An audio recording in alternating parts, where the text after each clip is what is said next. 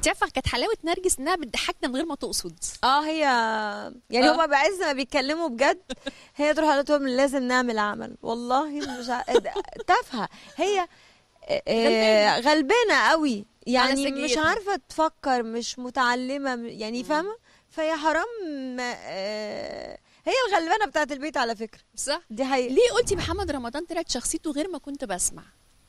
لا مش ما كنتش بسمع. هي بصي رمضان في ال location أنا ما اشتغلتش معاه. قبل كده. لكن أعرفه شخصيا.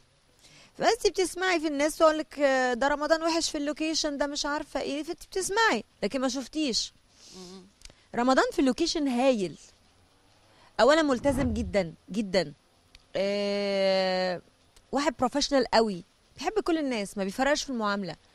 أه متواضع. جدع جدا مع كل الناس يعني اللي إحنا شفناه غير ما الناس بتقعد تطلع ما أعرفش ليه الناس بتطلع إشاعات على ناس وهم مش شايفين يعني أنت حضرته في اللوكيشن عشان تقول عليه كده.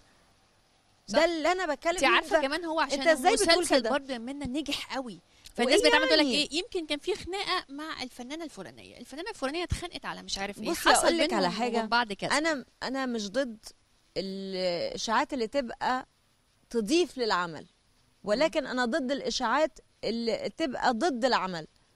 يعني أنا النهارده أنت اللي بيطلع إشاعة إن في مثلا بينه وبين زميلة معانا آه، مشكلة في المسلسل عرفت منين؟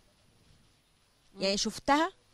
حضرت الواقعة؟ ما حضرتش. يبقى اذا أنت ما تقولش كلام إلا لما تتأكد منه من الطرفين. لكن أنا بتضايق مثلا بحد بيجي ينزل خبر من غير ما يرجع لي. طب. أنت بتنزل خبر بناء على إيه؟ صح؟ حق. اتأكد؟ من المصدر. بالظبط. طب نرجس كان ليها لازمات كده حلوة. الناس في الشارع حافظينها بتقولها لك؟ ده كتير. حاجات كتير جدا. بس هما اللي معلق معاهم قوي موضوع حبيبي يا جعفريكا دي اللي أنا قعدت أغنيها طول الوقت. أنا أصلا ال- الأغنية دي إحنا كنا بنغني حاجة تانية. وبعدين أستاذ سامي جه وإحنا الأغنية اللي أنا كنت حافظاها في الأول قال لي لا طب ما تيجي نعمل حاجة تانية. قلت له يا أسمريكا قال لي بقى خلاص خليها جعفريكا بقى. قلت له طب خلاص فقلناها جعفريكا وما قلناش لرمضان. فدخلنا في المشهد لاني بغني له كده فضحكنا أول مرة. ع- فعدنا تاني. قال لي ما تهزريش يا من دي مفاجآت أول مرة بنعرفها عن التصوير. طب كانت إيه الأغنية اللي كنت هتغنيها كانت يا حاجة لفايزه أحمد. كانت إيه؟ كانت فاكرة؟ لا مش فاكرة دلوقتي. آه بس هي كانت حاجة كده إيه ماشية مع الستايل فاهمة؟ ف... وكنت كانت صعبة جدا في حفظها بصراحة. آه. مش عارفة إيه عوجة الطاقية يا أبويا مش عارفة حاجة كده. فدخلنا غنيتها رمضان فضحكنا وبتاع وصورناها بس كانت دمها خفيف كانت أحلى. هي كاتشي قوي. سامي قال لك إيه بعد ما المسلسل اتعرض أستاذ سامي مش أنا بس هو إحنا اتقابلنا كلنا في سحور. وفرحان بينا كلنا بصراحة و... لأن هو أكتر حد شايف إحنا كنا تعبانين قد إيه وملتزمين قد إيه. ف يعني الحمد لله ربنا ما ضيعش تعبنا هدر. فالنجاح حلو و... وصعب وحفاظ عليه برضو أصعب.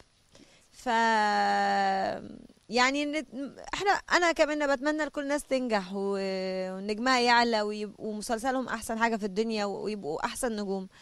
وفي نفس الوقت نفسي إن هم كمان يتمنوا لنا الخير ما يبقوش في حقد كره. ليه؟ يعني الناس ما أعرفش ليه النفوس بقت بس صعبه قوي كده. أنا أعتقد انت في إجماع عليكي في المسلسل ده. يعني أنا ما شفتش حد غير لما قال لي نرجس رائعة. منا اكتشاف. منا في آه، حاجات. منا نضجت فنيا. منا آه، خدتنا في قماشة واسعة.